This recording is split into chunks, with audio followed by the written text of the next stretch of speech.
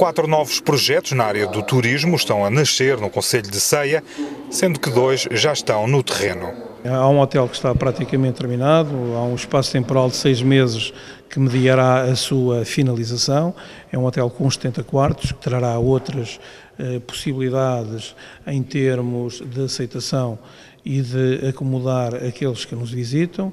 Dentro em breve será eh, também, eh, com certeza, anunciado mais um hotel, neste caso concreto no Sabogueiro, estará em fase final de aprovação em termos do próprio Turismo de Portugal, Uh, e pelo, pelo aquilo que se vê, sem dúvida nenhuma que vivemos num período que é um período muito difícil, um período de crise, mas que na área do turismo em particular é, é sem dúvida nenhuma um momento de oportunidade que é exatamente consolidado e concretizado a partir, portanto, destas iniciativas. Um campo de golfe com hotel e outras infraestruturas no valor de 76 milhões de euros é um dos projetos em carteira, mas ainda sem data marcada para o início das obras. É um empreendimento turístico um, um Golf Resort, como nós o denominamos, que tem, cujo programa é um golfe de 18 buracos, tem depois um hotel com cerca de 200 a 200 quartos, um apart-hotel, uma zona de moradias e um conjunto de equipamentos eh,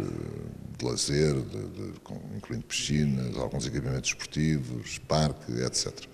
Portanto, é um, é um resort, digamos assim na sua verdadeira essência. O quando é sempre difícil e eu não me atrevo a dar datas. O investimento neste momento, se tivermos em conta os custos atuais e reais, poderá rondar qualquer coisa como os 75 milhões de euros. O município de Ceia aposta na captação de novos investimentos no setor do turismo.